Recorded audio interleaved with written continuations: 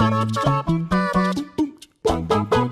Hello, all of you beautiful people. Jules here for WhatCulture.com, and I'm sorry, but we've lost again. That's another life down the drain, and we're going to have to start all over. Oh, wait a minute. This video game just paid out. Does it realise it's made a mistake? Oh, actually, no. It's meant to have done that. As I'm Jules, this is WhatCulture.com, and these are 10 video games that actually rewarded you for losing. Haha! My day has finally come. Number 10 Spawn King Mickey by dying to certain bosses. Kingdom Hearts 2. Now, Kingdom Hearts 2 is no picnic of a game, but if you find yourself struggling with some of its bosses, then Square Enix will lend you some aid direct from the House of Mouse. If Sora dies during certain boss fights throughout the game, you're given the option to tag in King Mickey Mouse, who will temporarily become the new player character, giving you another opportunity to wail away on the bosses. Mickey will stick around until he either revives Sora or dies himself, though given that Mickey generally isn't able to finish the bosses off, you'll need to get Sora back into the action at some point in time. Still, considering that Mickey is a mighty fighter, this is a massive help for those in trouble. Keep in mind as well that Mickey can show up multiple times per boss encounter, with the chance of him doing so increasing each time that Sora dies. Number 9. Get the legendary sword by dying 16 times. Alundra. If you're getting your ass kicked in the cult classic RPG Alundra, which by the way is absolutely amazing, you owe it to yourself to play it, mm-mm-mm, it is good, you'll be allowed to unlock a weapon that trivializes every single fight in the game by allowing you to kill them in one bloody hit. If you died 16 or more times and then quick restarted every time and gotten far enough in the game to have acquired the power gloves, well, head to the statue of King Snow located west of Inoa Village and you'll be gifted the insanely powerful legendary sword. Hilariously, though, the spirit of the king doesn't hand over the sword first without putting you down, saying that it would be beyond heartless and cruel to deny you the sword after all that you've endured. Ouch. Still, it's definitely worth taking the low key abuse, given that the legendary sword will let you basically cheese your way through the entirety of the rest of the game. Number 8. Get protective headgear after losing 100 times. Punch Out for the Wii. Though the Wii version of Punch Out is nowhere near as difficult as the original NES Classic, it is still no pushover, yet players who are really struggling with it will get offered a much needed olive branch. If you're playing badly enough to lose 100 fights in a row, then the game will take pity on you and mention that the boxing commissioner has sent you an interesting gift. Go to the career option menus and you'll find that a headgear assist item has been made available, giving players the very same protective headgear that's worn by Glass Joe in one of the game's fights. The headgear will drastically reduce damage taken in all matches and make it much, much easier to get through the career mode in one piece. Number 7. The Temmie armor gets cheaper with each death. Undertale. Temmie armor is the second most powerful armor available in Undertale and can be purchased from Tem's shop as long as you're not taking the genocide route, which leads you to the game's bad ending. You'll first need to unlock the item by paying 1000 G for Temmie's shopkeeper's college scholarship, after which the Temmie armor will be made available for a stonking 9999 G. However, there's a very easy way to make that exorbitant price tag much, much more affordable. All you gotta do is just get yourself killed. Every single time that you die, even across separate runs throughout the game, the price of the armor will decrease until after 23 deaths when it hits its maximum low of just 750 gold. Better still, this will apply even if you haven't actually paid the initial 1000 gold to unlock the armor yet. Number 6. Secretly lower the difficulty by playing poorly. Resident Evil 4.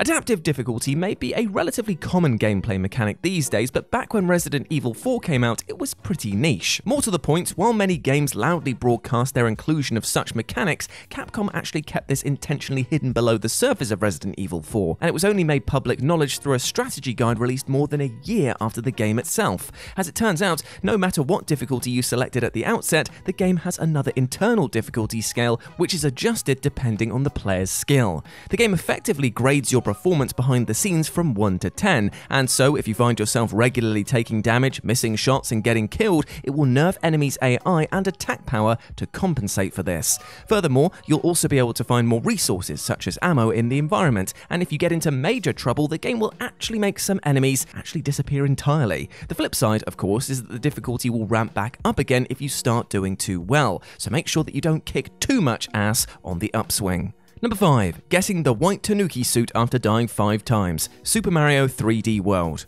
Super Mario 3D World isn't a massively challenging game, but it is one meant to be accessible to kids, and so Nintendo's terrific platformer does actually include a quick feature to help struggling players. If you die five times in any of the game's levels, you'll be presented with an assist block containing an invincibility leaf. Pick up the leaf and Mario will be transformed into White Tanuki Mario, rendering him near enough invincible for the rest of the level. Though some Mario purists will argue that the White Tanuki suit is an example of video game hand-holding gone too far, it is entirely optional. No one's forcing you to take it, and as we all know, options are a wonderful thing for a diverse player base, you monsters. But beware though, because while the suit does protect players from all enemy attacks, Mario can still die by falling off cliffs and into lava or poisoned water. Number 4. Restart the checkpoint fully healed by dying 3 times. Brothers in Arms, Road to Hill 30.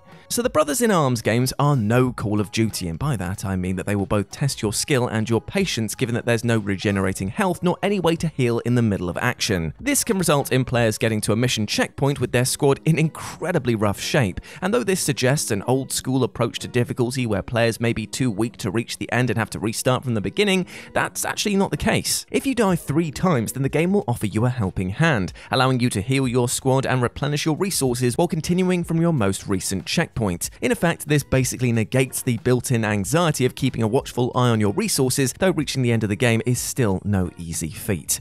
Good luck. Number 3. Collect no turkeys on Thanksgiving Day race and unlock Starvin' Marvin. South Park Rally. Ah, South Park Rally, one of the uh, many, many mediocre attempts to cash in on the success of Mario Kart 64. Not a great or even particularly good game by any means, but it's not particularly worthless either. It's a, it's a weird title.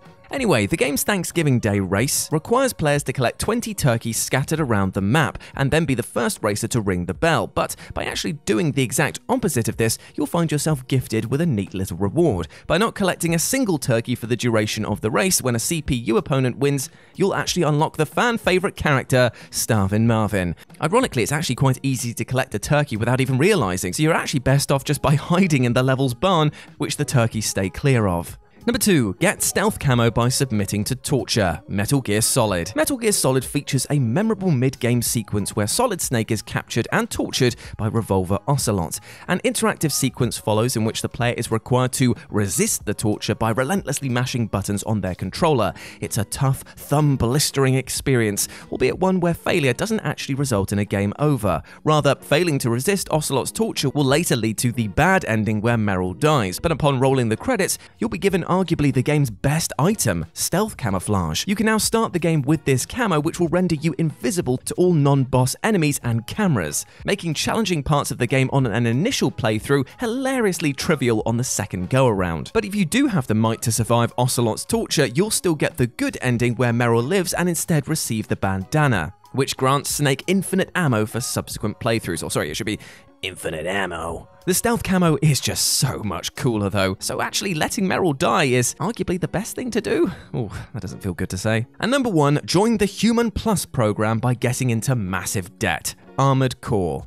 Armored Core offers up a huge incentive for players to play badly and get themselves into tons of debt. If you keep failing missions and generally play poorly enough to end up with a debt of more than 50,000 credits, a cutscene will play which reveals that you've been selected to join the Human Plus program. This effectively results in the game restarting, but with all of your previously unlocked upgrades still available. Hell, players are able to abuse this a whopping 8 times to ensure that they eventually restart the game with every ability on offer, including a fully kitted out radar and enhance speed, energy, and power. By basically allowing players to exploit a backwards reward system, this of course nerfs the game's difficulty quite considerably, ensuring that even the most inept Armored Core players will eventually make it through the campaign in one piece. And there we go, my friends. Those were 10 video games that rewarded you for losing. I hope that you enjoyed that, and please let me know what you thought about it down in the comments section below. As always, I've been Jules. You can go follow me over on Twitter at RetroJ with a zero, or you can swing by Live and Let's Dice, which has got its own Twitter now, which is L-A-L-D Tweet. Go and follow us there, and you can find out all updates about our board games and live streams. But before I go, my friend, I just want to say one thing. Even though we detailed today a lot about video games that rewarded you for losing, you, my friend, listening to this video, you are not a loser. You are a big ledge do not let anything or anyone else tell you otherwise. I want you to go out there and absolutely smash your goals today because you deserve love, happiness, and success. Big love from me to you, my friend. As always, I've been Jules, you have been awesome. Never forget that, and I'll speak to you soon. Bye.